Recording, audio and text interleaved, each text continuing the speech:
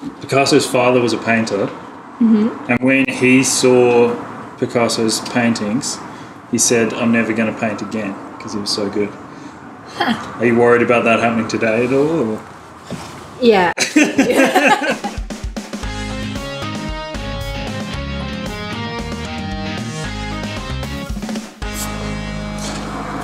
Hey team, it's Henry, and I'm here with Rachel, and today we're going to try and do some face painting. Yeah. That's right. So, first thing I thought we could do is make what's called a split cake. So, I don't know if you've ever seen when people do face painting, um, they get these really cool um, like blends of color. Um, when I first tried it, I was trying to, you know, take blue and gold and, and mix them together on someone's face. Um, doesn't work that well. What works even better is taking face paints, cutting them up, putting them together, and then you've got this nice block that you can um, take the one sponge or brush, run it over, and get this beautiful um, blend to then create flowers, dragons, birds. Here is a little pot. Now, in front of us here, we've got a whole heap of different colours, um, and you're welcome to choose. Let's do orange, blue. Is that green? Green. Going to cut a bit of the one that I want, and then mould it a bit like clay. So Okay. roll it, uh, roll it into a bit of a sausage, and then just press it into. Uh, you can decide what order you want it in, but basically we're going for um, sausages that are just going to sort of be stuck together. Baby wipes are a face painter's best friend. They get everything up. It's amazing. So, what started you off in face painting? Um, used to live near a two dollar shop, which is one of my favorite places to lose hours just wandering around. um, and saw that they had um, yeah face paints one day and thought that looks like fun. I do a lot of kids camps and you know yeah camps with people with disabilities and stuff, and thought this could be a, a fun thing to bring to it. You know, other people bring their guitars along. Why don't I bring some uh, some face paint? I love the delight on people's faces when they first, you know, they've been sitting there patiently. I'm doing something on their face, and then when they first see themselves in the mirror, and there's just this joy. So what you're gonna do is take your little spritzer, Yep. get your um, thing a bit wet, so I don't know how well this will go facing downwards. Okay. Put it up. Just give it a bit of a squirt. Let's get your brush a little bit wet to start with, and dry it off from here. Mm-hmm. And then we're just going to go back and forth over your colours. And yeah, wherever you want to start playing, you can play on your own arm or mine if you like. Um, Ooh, it's like dirt. I like it. It makes me think of something tropical flavoured. Isn't that a huge scam that the Paddle pop. Paddle Pops, they're just caramel, caramel? flavored. Yeah. Huge I have to say, if it was going to turn out to be anything, I'm glad it's caramel. Uh, Some of the cool stuff that you can do with these now is um, make different shapes and things. So, like whatever I've just made here, I'm going to say could be the start of a gecko. One's like a sad tadpole. and do you have a daily daily thing that you have to do to maintain your, your well-being? I I used to um, be a lot more resilient. I used to have it as like a, an actual you know practice. Since being a mum, I am struggling to find the time to put these things into practice, and it, it- Yeah. I guess it's all the more important. So I used to do yoga, uh, yoga or Pilates for an hour a day, Mhm. uh, and I loved it. That was my that was my wake up ritual. Um, I, I really miss that. Mm. Sounds cliche, but that whole you know mind, body, spirit thing. Mm-hmm. What do you think makes people more resilient to to change? I think that we all have buckets that need filling, um, and um, yeah, you know, the first would be our, our basic needs: you know, hydration, food, sleep. I think the next one is connection. I think, um, especially for me as an extrovert, Mhm. if I'm if I'm missing connection with people, um, yeah, it it really saps my energy. How do you know if you're okay? Oh, that's a good question. if someone looks at me really genuinely and with concern and asks if I'm okay, I'll know. Because if I'm not, I will burst into tears. Yeah.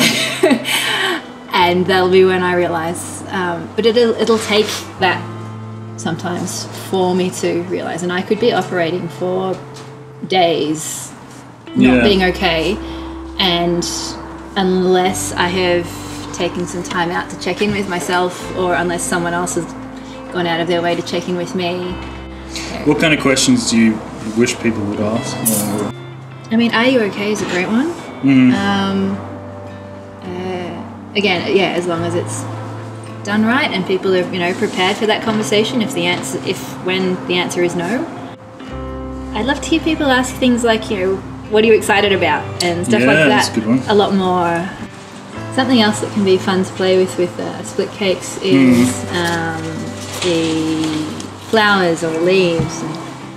What's the um, the way you like people to support you when you're having a difficult time? What's the word? Active listening. Yeah. that can make a huge difference for me. Uh, not trying to fix my problems, but um, rather just being there and helping me sort out what I'm thinking and feeling. Do you think people understand how, how difficult it is for new parents? For sure. And I think also acknowledging that everyone's parenting journey is so different and uh, each family is different, each child is different. Yeah, I mean, something that I definitely never understood was postnatal depression. I used to hear stories on the news where they'd say, go for it, where they'd say something about um, a, a mother taking her life. And I feel like, along with all of the people around me, I would be thinking, you know, how could you not think of your children? How, you know, how, how, how could you be so selfish? Was I, I feel like the comment that would you know, resound around the house where I was. Um, and um, and I yeah I was kind of there with that comment and I'd sort of you know be offhandedly saying oh you know you never know what's going on for people but I I, I yeah just couldn't couldn't get it at all.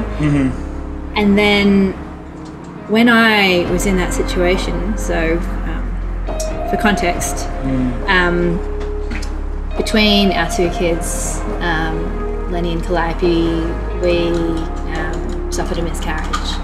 Um, and it was incredibly traumatic. Um, and that was actually what, what sent me into that perinatal depression. And um, I, I was severely suicidal for a while there. Um, and the, the thing that I had never considered was that it was like someone was yelling at me in my head, you know, if you really loved them, you'd do the right thing Mm. and this uh, deluded logic was telling me that the right thing, as far as my family was concerned, was to eliminate me from the picture, was to take my own life. Um, and so it was completely the opposite to what I'd previously thought with that misconception of, you know, how could you be so selfish? How could you escape and leave your family? It wasn't that at all. Uh, I still loved life. I still wanted to be there. I just really, really felt like every second that I was alive was somehow doing irreparable damage to these people that I love so much. And yeah, so it, it felt like this imperative, this this compulsion to to need to take my life for their sake. Um, and um, and having felt that and knowing what I know now, I I think the judgment or blame is the last thing that anyone suffering mental health problems, but you know, particularly um, particularly a parent, the last thing they need is is that that judgment. But for me, there was a, a really serious rehabilitation period. Yeah. Um, yeah, I couldn't take care of myself, let alone anyone else. Pretty severe post traumatic stress, um, such that um, in a room I'd often need to back up to a wall, sort of thing, because the feeling of anyone behind me felt so legitimately threatening that I was Mm. completely in that fight or flight state. Um, for me, I had to address it on a chemical level as well, Mhm. um, which I guess that I guess that's one thing I'd want people to know is that provided the buffer to allow me to do the work that I needed to emotionally to start getting back to myself. My real fear had been that um, it would keep me from feeling like myself, like I would somehow come out feeling like someone else. Um, Okay. It totally didn't. It it enabled me to start feeling like me again. Questions are often the best advice, and and um, one of the best ones that I yeah have been asked, and and I guess therefore like to ask is is it helpful? Mm. because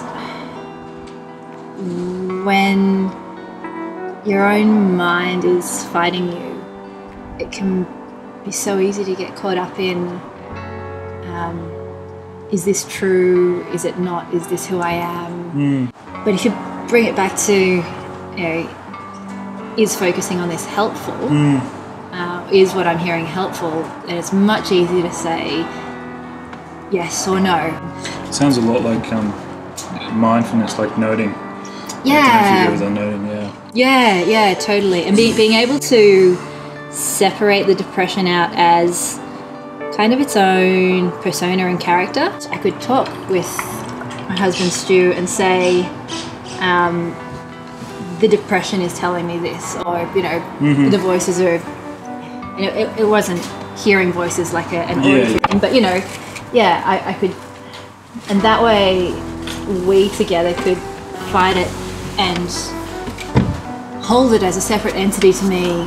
So rather than me saying something like, um, I'm thinking of killing myself, or, um, you know, the way you looked at me when I said this made me feel worthless. I, mm. I think I'm worthless. Instead, I could reframe it and say, okay, right now the depression is telling me I'm worthless. Mm-hmm.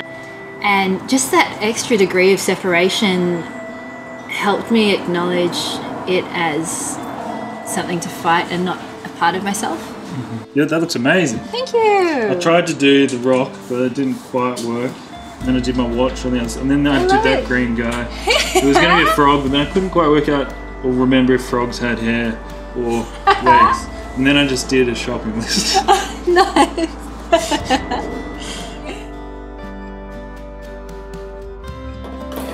So after the interview with Rach, I practiced body painting a lot, and I was determined to try and recreate a picture of her, but all my drawings kind of looked like I was blindfolded and trying to paint one of the Muppets. So in the end, I had to resort to paper. My healing was um, and is a process. I read something the other day. Are you improving or are you relapsing? Um, and I would look at that statement. I would say yes. Yes, I am healing. Yes, I am moving forward. And sometimes relapsing is part of that. It's it's not yeah. a dichotomy if or. It's some yeah. Sometimes that's the way of the journey, and and, and knowing that um, steps backwards are part of going forwards. Yeah. Give it a quick wipe, and then it's good as new. Wow. Um, uh, Is that the same as kids after just a quick wipe and good, isn't it? yeah. I'm going to try and cover up my tattoos, make my parents proud again.